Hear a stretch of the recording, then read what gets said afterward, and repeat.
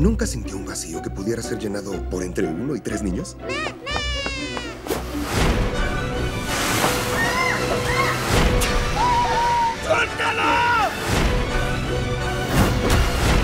Casi maternal. A ver, ¿qué está pasando? Esta es una estación de aerobrigadistas. Jugando con fuego.